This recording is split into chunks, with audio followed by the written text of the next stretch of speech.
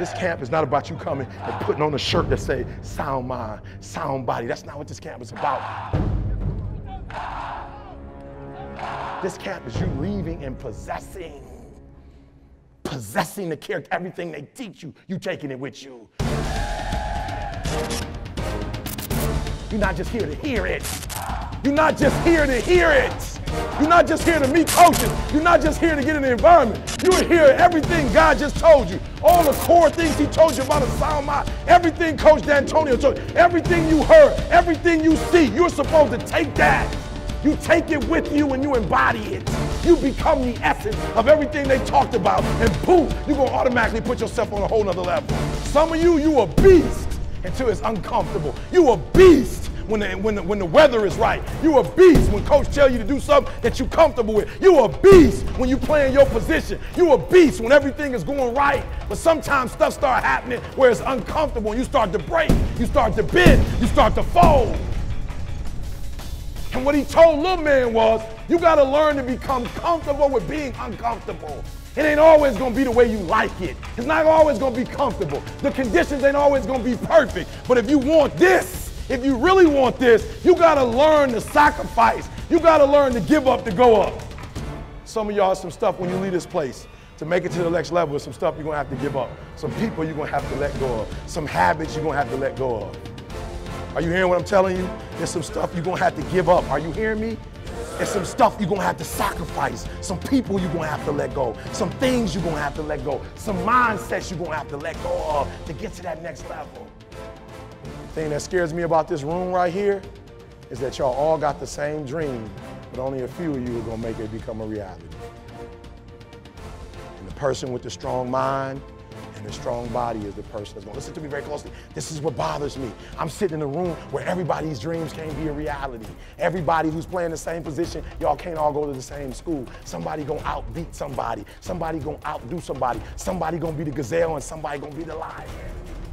Somebody gonna walk out of here and say, everything I heard, you're gonna take it and you're gonna apply it. You're gonna be a different person. You're gonna operate different. Coach ain't even gonna know who you are. Your parents ain't gonna know who you are. You're gonna shock yourself and surprise yourself. When I was in Cairo, Egypt, talking to 10,000 people, it shocked me. I couldn't believe it. High school dropout, west side of Detroit, eight mile in Braile, in Cairo, Egypt.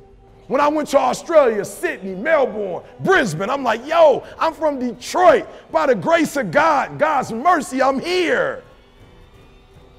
I had a strong mind, a strong body. I started studying. I started putting in the work. And I realized somebody else trying to do exactly what I'm trying to do. Are you a gazelle or are you a lion? Are you a gazelle or are you a lion? And let me tell you the difference between a gazelle and a lion. When the gazelle wakes up, it runs. But if a lion ain't chasing it, it stops running. But when the lion wakes up, it don't need nobody to push it. It pushes itself. Why? Because he realizes that if he does not catch that gazelle, not only him, but his family don't eat. What are you playing this game for? What's your passion? What's your drive? What's your purpose? What's your purpose for playing this game? Why are you doing what you're doing? And when you know why you're doing what you're doing, you saw my t-shirt, no alarm clock needed. My passion wakes me up. I got up at 3 o'clock this morning, no clock. I ain't used the clock in 20 years. My passion wakes me up. My drive wakes me up. My determination wakes me up. My ability to be, do, and have whatever I want, it wakes me up. What wakes you up? What drives you? Why are you playing this game? Is it just a game? Or do you eat it? Do you sleep it? Do you drink it? Have you possessed the game? Do you want to change the game? I'm sitting with a D1 basketball player this morning, freshman. He pulled out a piece of paper and he showed me 20 goals, what he wants to accomplish in Big Ten. 18 year old kid, 20 goals. I asked him, why you got these goals? He said, because right now, my mama ain't eating. Right now. Right now, my grandma, I can't afford to buy her a drink of water. But I guarantee you, next year this time, I'll make my mark.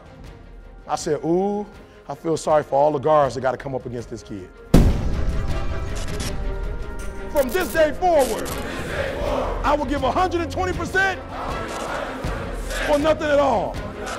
Strong mind, strong mind, strong mind. From this day forward, I will give 120% or nothing at all. Strong mind, Strong mind. Strong mind. Strong body.